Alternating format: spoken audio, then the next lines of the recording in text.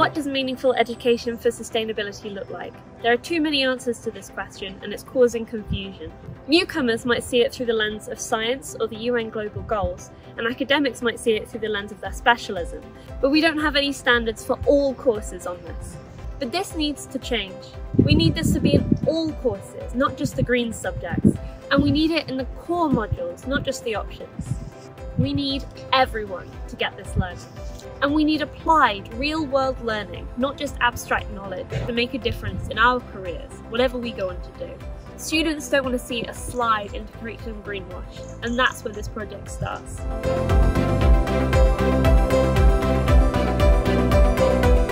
This project is driving a new dialogue about quality in education for sustainability.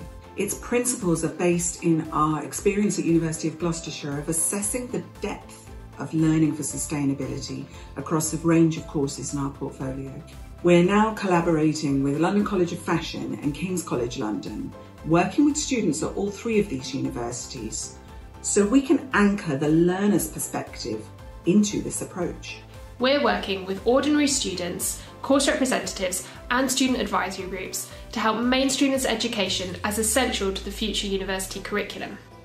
Having trialled quality principles with academics across an entire university course portfolio, we are now involving students in testing the approach further and creating tools to empower other students to drive change.